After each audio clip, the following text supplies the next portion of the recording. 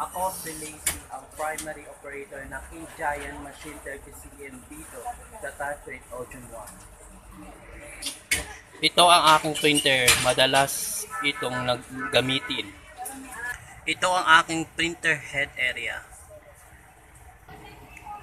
Ang cupping area. Ganito naman ang aming headline.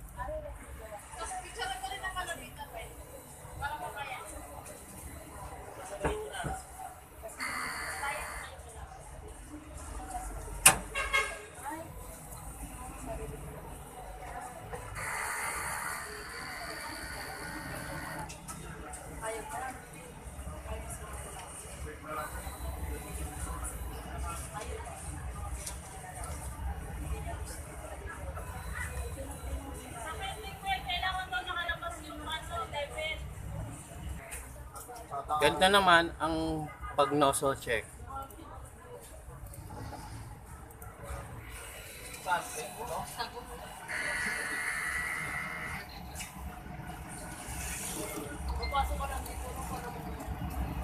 Okay na po siya aming on nozzle check. Pati sa white, okay na rin po. Ito ang ink system namin. Ito ang ink waste tank na namin. Every Sunday ko siya ang pagtapon ng ink. Ito ang ABR. Ito po ang power plug na nakakabit sa printer namin. Nandito naman po ang aming ground wire. At ang paglinis ng oven.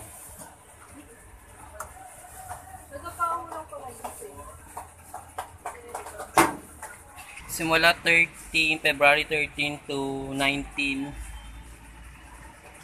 naka 150 meters, 56 meters kami nakaraang last week. So, ang daily check, main- maintenance po namin. Nandito naman ang stock management namin. Nandito ang new supply namin. Ito naman ang ang new supply namin. Nandito naman yung powder, cyan, dalawang magenta, tatlong yellow, apat na black, tatlong white, at ang roll media. Ito ang records na nagamit namin. Cyan, isa. Kenta, isa. Sa black, wala. Sa powder, dalawa. Sa white, tatlo. White inks. Isa. Solution, wala naman. Ito ang record. Ito ang daily uh, checklist po namin updated. Pareha silang updated. Ito ang, ang, ang aming wallpaper. Maayos. Sa drive C, sa drive C, nako siya muna 80%. At sa drive D naman, nakakonsume kami ng 50%.